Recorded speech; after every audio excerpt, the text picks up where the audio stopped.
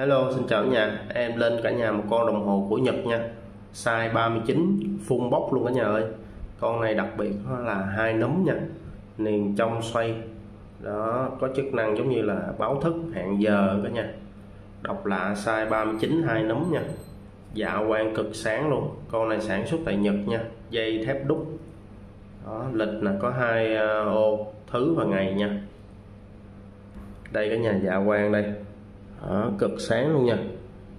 Đằng sau là đáy xoáy nha. Nguyên hộp luôn. Con này nguyên hộp đẹp can nè. Đó, đáy xoáy sản xuất tại Nhật an tâm mà xài nha cả nhà.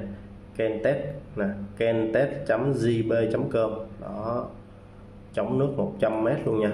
Hai nấm nha size 39 thì phù hợp anh em nào tay nè 14 15 16 17 18 19 gì đó tùy nha.